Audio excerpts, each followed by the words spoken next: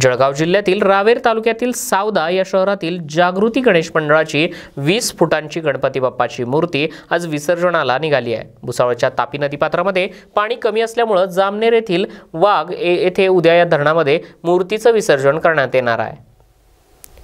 सावदा शहरातील जागृती गणेश मंडळाची वीस फुटांची मूर्ती गेल्या दोन वर्षांपासून कोरोनाच्या सावटामुळे मंडळाच्या वतीनं विराजमान करण्यात आली नव्हती. परंतु अशीच मूर्ती पडून राहिली तर मूर्तीची विटंबना होईल म्हणून या वर्षी देखील या मूर्तीचं वि विराजमान करण्यात आली आणि कोरोनाचे सर्व नियम पाळत या मूर्तीचं आज विसर्जन करण्यात येत आहे. नमस्कार मी उमेश सुरेश बोरले आम्ही सावद्याहून आलोय जागृती गणेश मंडळ आमच्या मंडळाचं नाव आहे.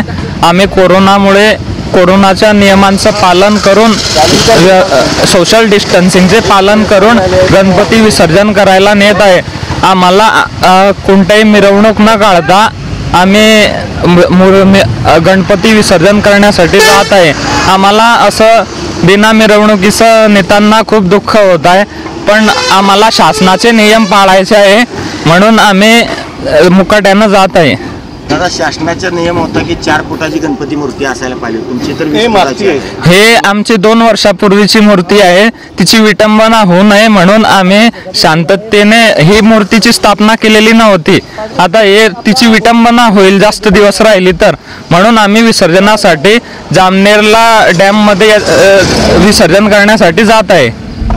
इथं तापी नदी असताना तुम्ही जामनेरला मूर्ती.